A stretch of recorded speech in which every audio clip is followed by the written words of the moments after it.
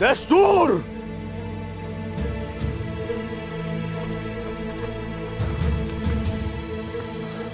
Beyim, Çık dışarı Gökçe. Tuğtekin.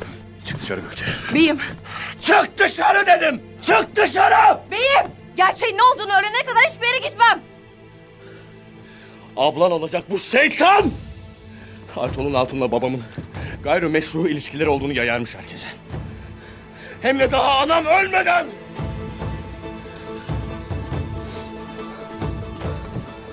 Ama doğru mu bu? Doğru.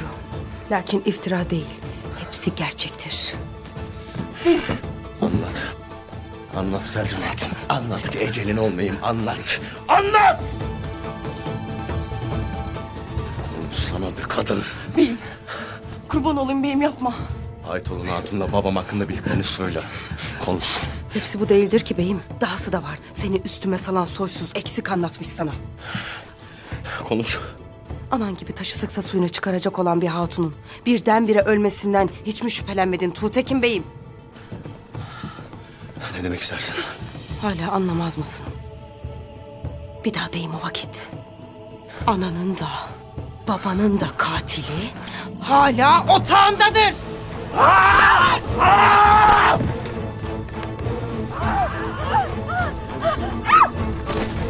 Tuğtekin Bey! Tuğtekin!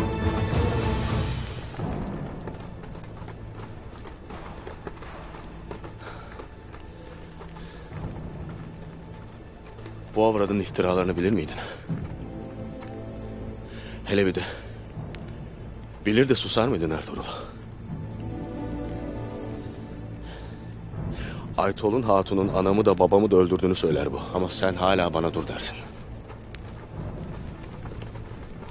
Mahkemeye kadar bekleyeceğiz Tuğtekin Bey. Mahkemen batsın. Sen de mi bu avradın yanındasın?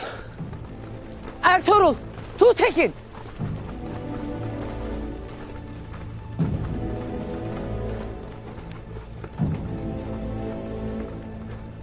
Haymana. Kızın Selcan'ın babamın ölümünde parmağı var. Ben onu konuşturacağım. Sen istesen de istemesen de mahkemede konuşacak. İndi. Buradan git. Acımızı daha fazla büyütme.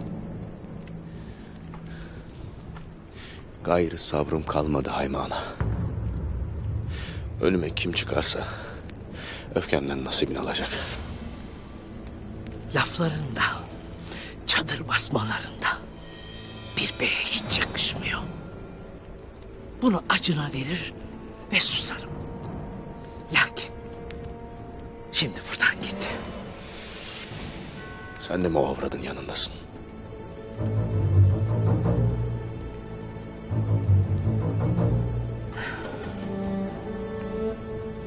Tuğtekin, öfkene mukayyet ol. Selcan'a hesap sormakta, gerektiğinde o hesabı görmekte bana düşer. Senin haddin değil. Selcan, çadırına gir. Ana.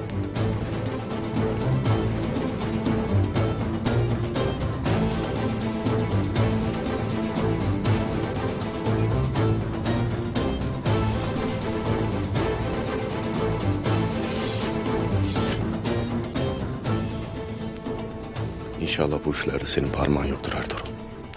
Gün gelecek hepimizden af dileyeceksin dayıoğlu. Eğer bu işin içinde varsan... ...akacak kan damarda durmayacaktır.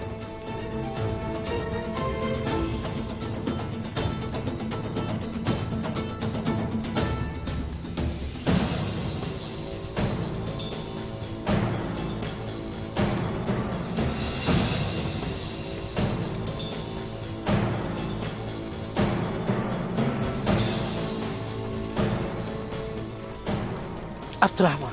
Buyur Selcan Hatun'un çadırının önüne iki tane nöbetçi dikilsin. Emredersin hanım.